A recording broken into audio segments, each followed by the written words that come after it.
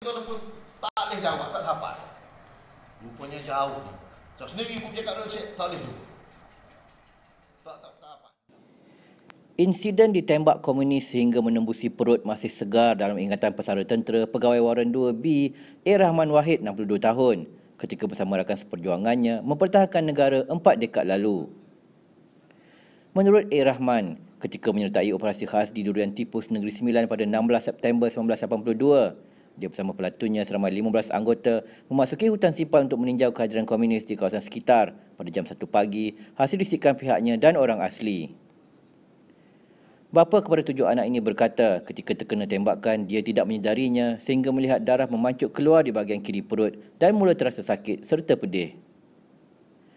Katanya setiap kali mengikuti operasi, dia tidak lupa membawa surah Yasin bersama sebagai pelindung diri daripada sebarang ancaman bahaya. Saya perasan saya. Lepas tu apabila saya tunggu dia dalam seminit dua gitu tu, saya tengah cukup saya pergi. Okey. Alik mana tu? Ni adik ni. Okay. Alik kiri. Ha. Apabila terasa pergi, saya tengok. Tengok tahu semua maju ni. Tahu semua pasal tekan ada benda berat sini kan dengan dengan peluru dengan granit apa semua ni dah maju dengan eh oh saya kata ni tak boleh dari mati. Kata mungkin gitu. Saya pun kepit senjata saya segolek peluru. Di bawah ni baru jumpa dia orang. Saya kata, mana kau ni? Mari dah aku kena dah ni. Tapi dia orang memang kabur saya. Apabila ada pam boleh tembak dia orang bawah ni memang kabur dia tembak. Hmm. Tembak pun kat atas kepala saya. Kau kena saya pula. Tapi satu daripadanya saya yang terbaik lah. Dia kabur saya. Hmm. Tapi bimbangnya dia tembak dia, dia tak nampak apa pun.